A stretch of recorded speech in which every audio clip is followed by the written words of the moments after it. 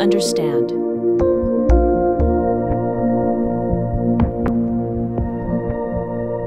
The question is How do I communicate with my husband concerning my sexual needs? Communication between couples to talk about sex is one of the most difficult aspects of the marriage, in the Eastern cultures especially. That's because we have not learned to express our feelings honestly with respect to sex, because they've always told us it's a taboo and a sin. But you should know that the failing sexual relationship will make a marriage fail by 90% chance. Therefore, improving the sexual relationship is one of the basics of a successful marriage. A woman's body works differently from a man's with regards to sexual pleasure. Women are more complicated to reach orgasm, and their erogenous zones differ from those of men. Therefore, a husband should learn these things from his wife. In order for the husband to please his wife, he needs to hear from her what she likes and what makes her enjoy sex.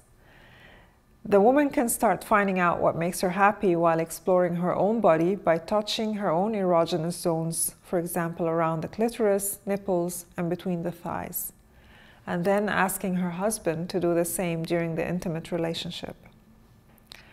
There are many educational books in the field of sex education, I would suggest that you buy a couple of these books and read them together and try to apply the information. Commercial pornographic material is the worst source of information you can have and may even cause several problems in your marriage. So try to avoid them as an educational guide. Also, good personal hygiene, including daily showers and oral care, and making a daily ritual of kissing and hugging each other which is a habit that should not be avoided or waived under any circumstances, will bring you physically and emotionally closer, which will make you more willing to be intimate.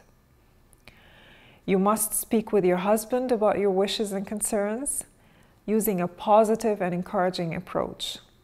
Not talking about the subject will certainly lead to failure of this important aspect of marriage.